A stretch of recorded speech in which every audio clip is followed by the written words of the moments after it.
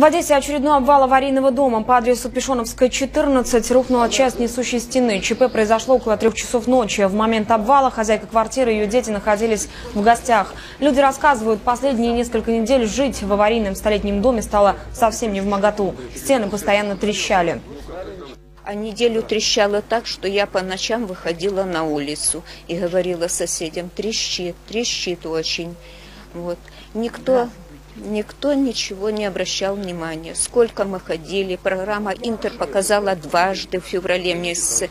Никто не обратил внимания. Нету квартир, нету.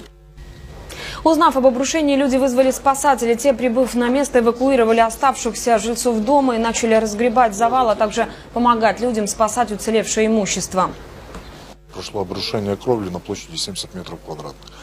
По прибытию на место пожарно-спасательных подразделений была произведена эвакуация двух семей.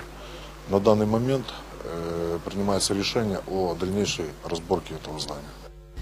В результате без крыши над головой осталось шесть человек. Чиновники обещают, людей не оставят на улице и расселят по временным квартирам.